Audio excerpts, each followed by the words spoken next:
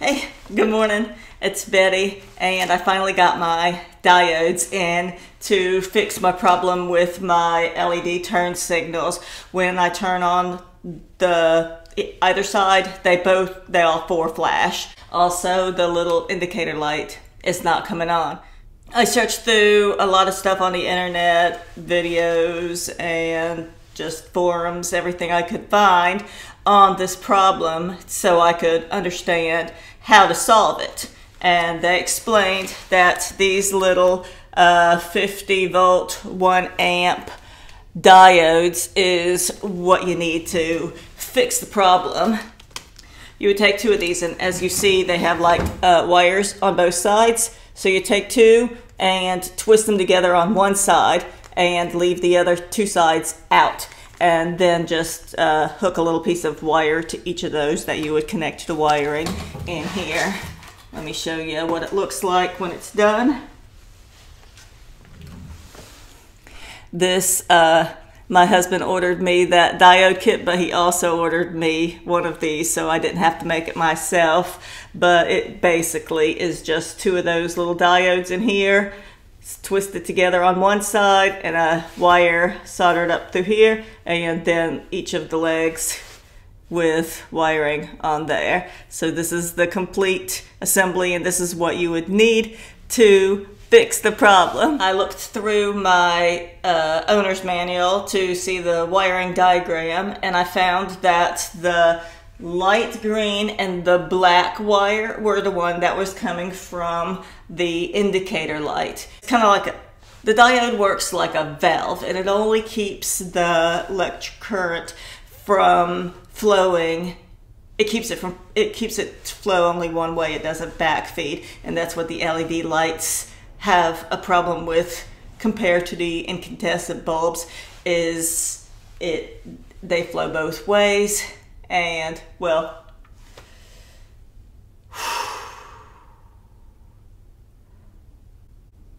from what I understand, the LEDs have, use so little power that it kind of slips through the cracks. And it goes from the LED light up to the blinker, to the indicator light, and then it just continues to flow to the other side. And that's where on regular incandescent bulbs, it would go to here and it would stop until you switched over and then it would flip the other one and the light would come on. But with the LEDs, it just continues to flow through both of them and makes both circuits uh, have power at the same time and so all the lights light up. So what we're gonna do with this little contraption here is to keep that electricity from flowing past the indicator light on the dash here. So that's why we found these two wires that go to the indicator bulb on the dash. We're gonna install this in line and that should solve our problem. Now we'll see, look, see if I can get you a good view of what's going on here. And these two are the wires that we are looking for. And those are what I'm going to cut. It says that it doesn't matter which one, like one's not really a negative and positive. They both flow, but because this one's black, I'm gonna use it for the negative, and this uh, green one I'll use for the positive. I'll cut both of these and install this onto, uh, we'll wire it right into the green and then on this other side we will continue it with the other side of the green that I cut and onto the black. And then this other end of the black will just, you know, if I cut this, there's two wires sticking out. This one will be fused into that device and then there'll be a wire here and so I'll just hook this wire to there and then ground it someplace in here that has a that has a ground that's a black and white um, wire with a black a black wire with a white stripe. So I'll just fit it in there and that should complete the circuit and the light should work after that. And I'm using these little uh, heat shrink solder joints that I have. They have heat shrink and then that's a little piece of solder in the middle. So I will just slip it in here like that and then and then put the, the wire in here and then melt it together.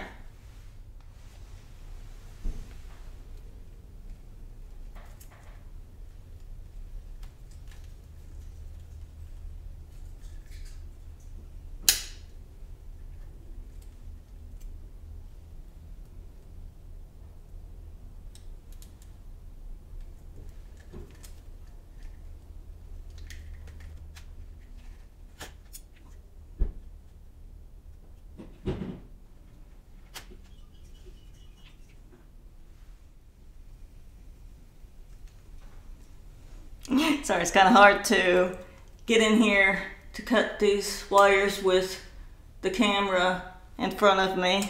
So I'll let you, as soon as I get this stripped, I'll try to get you as good a view as possible.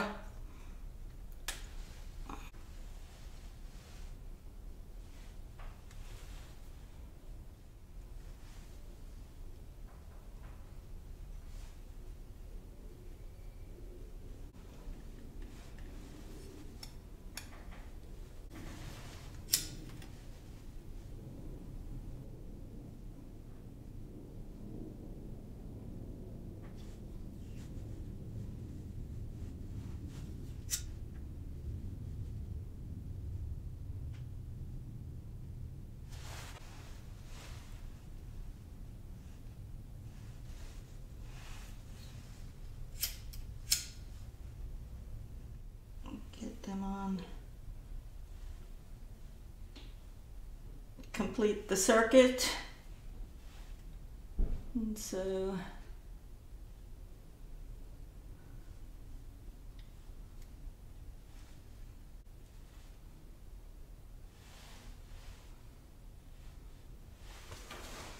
I know, I feel like I should really make sure that this is gonna work before I solder these.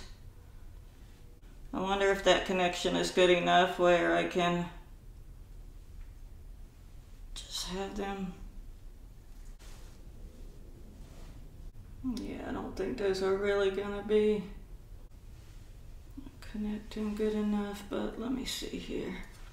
Let me just find a ground I can connect this to.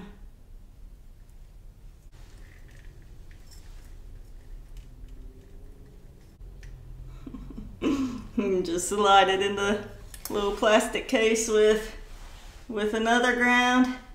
And then I'll just hold this on here. Probably not a good enough connection to make it work but let's see.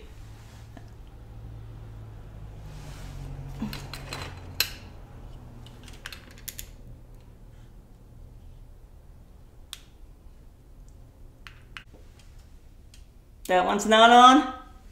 This one's on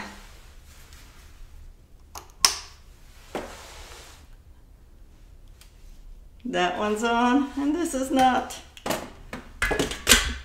It works.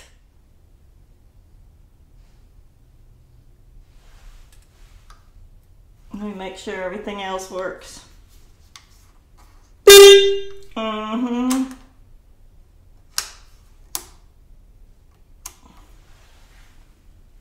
Awesome, awesome, awesome. So let me just finish soldering these real quick and we'll be done. It's funny, I can, it's melting the solder, so I'm actually soldering it. I think I just need to do these one at a time. I like these because they're clear, so you could see exactly where where your wires are.